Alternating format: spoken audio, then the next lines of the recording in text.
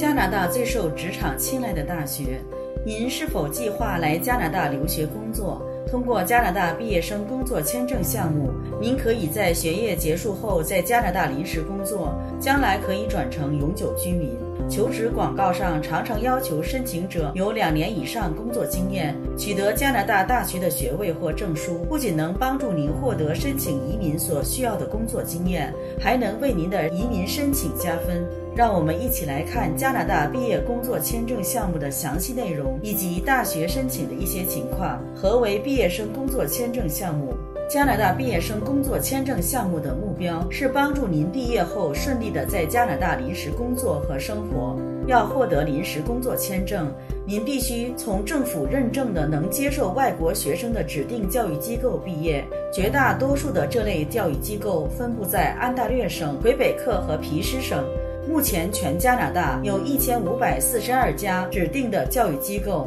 您需要满足以下条件，才能申请加拿大毕业生工作签证，完成您在指定教育机构的学业、证书或学位。学习时间必须超过八个月，必须是全日制学习。当您申请加拿大毕业生工作签证时，您的学生签证必须还有效。从您毕业开始，您有一百八十天的时间可以申请加拿大毕业生工作签证。自您递交申请算起，大概需要三个月时间。成功的申请者会拿到和您学习时间等长的临时工作签证。最受职场青睐的大学和专业，就读于一个好大学，不光能让您接受到世界一流的教育，也会帮助您在毕业后获得一份好工作。下面是加拿大最受申请者欢迎的十所大学和大学中最受青睐的专业：一、多伦多大学，应用科学和工程、艺术和科学、建筑设计、医学和牙医、兽医。护理、药物科学；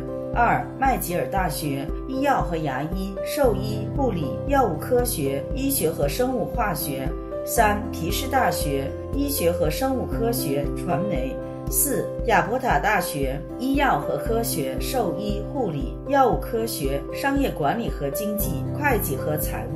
五、蒙特利尔大学，医药和牙医、兽医、护理、药物科学、计算机科学。六、麦克马斯特大学医药和牙医、兽医、护理、药物科学。七、滑铁卢大学工程、机械和航空工程、土木工程、电子工程、化学工程。八、热尔森大学数据科学分析科学硕士、计算机科学硕士。九、约克大学媒体传媒、艺术和人文科学、法学、社会科学。十、特伦特大学应用科学和工程、艺术和科学、建筑设计。申请加拿大大学所需条件。来加拿大学习，您需要申请学习许可和临时居住签证 （TRV） 或者电子旅行签证 （ETA）。学习许可允许您在加拿大境内读书，TRV 或 ETA 则允许您入境加拿大。下面是申请学习许可的要求清单：满足您所申请的指定教育机构的所有录取要求，满足入境加拿大的一般要求，有有效护照、简历、学习意图说明书。